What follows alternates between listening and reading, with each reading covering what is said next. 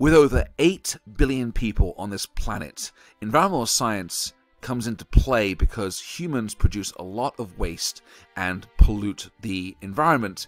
And one of the ways to pollute is to produce solid waste. And this video is going to discuss different types of solid waste and the different types or methods of trying to reduce or reuse this solid waste. This is the Earth Science Classroom. When discussing solid waste, you may come across different diagrams or schematics that generalize the whole topic of pollution in this way. So this diagram is looking at different ways of categorizing the waste and also what to do with the waste to be more friendly to the environment. So on the left, you have different types of solid waste and how we categorize waste. Now, generally, we can bundle all the waste into where it comes from, which is going to be municipal solid waste or MSW. Now, this is any waste produced by a township, a city, a region, or a certain area under a government control.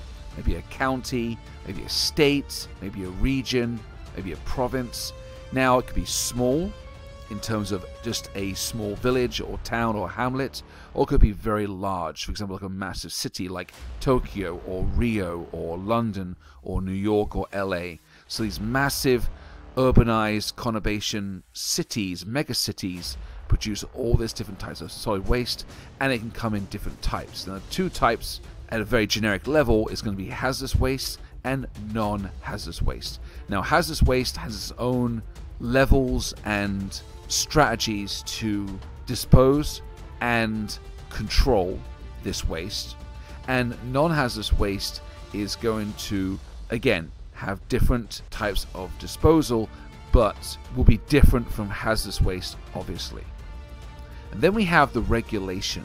So the regulations that the United States have put in place at a state, county, or nationwide federal level to combat this waste and to properly manage how to dispose and recycle this waste. Non hazardous waste has three different sections based on where the waste is coming from, the source, or the origin, which is going to be residential, commercial, and industrial. Now, these three types of waste production differs greatly in what is being put out for the garbage and what is being disposed of as trash. Now, this can affect both the air and the water in terms of pollution, but in terms of this video, we're looking at just solid waste being thrown out from these three locations for non hazardous. Now, that can range from any kind of food product, cardboard, plastics, bottles, glass. Industrial could be materials from building sites, materials from the industrial production or processes that go on in that factory and how they dispose of it. Commercial could be anything as well in terms of stone, metal, any kind of plastic materials. Again, all of this is going to add up into solid waste.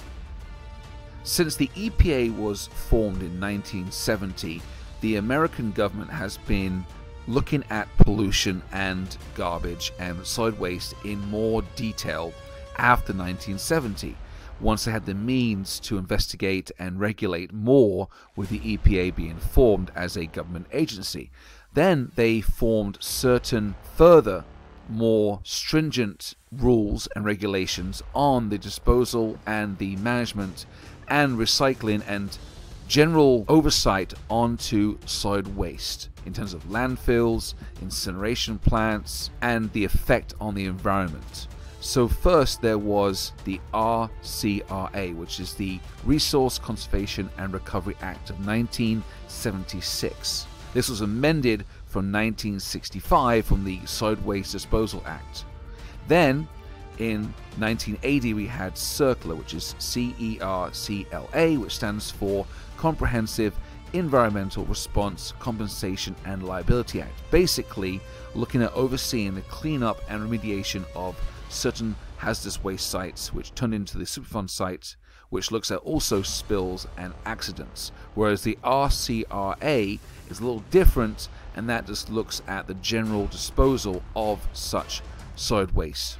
In large proportion of studying solid waste and seeing where this waste goes and how we manage this waste is going to be recycling in terms of the environmental protection and the ability to reuse materials and not just discard and place into a landfill, for example. Now, the bad part is that America is trying to recycle. However, the business and economy of recycling is not what we would like in terms of the amount of materials recycled in the system. So, between 1950 and 2015, data shows that only 6% of the plastics discarded or disposed of was actually recycled. 6%. For disposal of such solid waste in different types, both hazardous, which comes different levels, and non hazardous, as mentioned earlier, for residential, commercial, and industrial, disposal can come in different ways. And this is not recycling. Recycling is a different part where you're going to reuse or remodel or remake the existing waste that is thrown out. Disposal is where it's not being recycled and it's being thrown out into the environment in two different ways. One way is incineration, which is to heat up and burn and combust the solid waste, and that can also turn to energy in some situations where you have gas to energy incineration plants. And the main one is landfills, which is a very big issue for the environment for obvious reasons, both for different levels of landfills, the size, quantity, and the materials dumped in the landfill, and the space and location of that landfill. And for environmental science, the issue really is the amount of waste being put into landfills, and about 40,000 tons equates to one acre used of landfill. And just imagine that over the entire country of how much waste that a individual or one business or one industrial business is going to throw out on a daily basis and how the mismanagement or the lack of recycling the lack of proper management of this of these materials both hazardous and non-hazardous is going to add up over time and where these landfills are going to occur, the size, scale, and possible environmental issues deriving from these landfills, both air pollution, water pollution, and ground and soil pollution. Thank you so much for watching the video. I hope you enjoyed it. If you like it, please subscribe and hit the like button. If you like more on this content, please check out my channel, which has all these videos on earth science.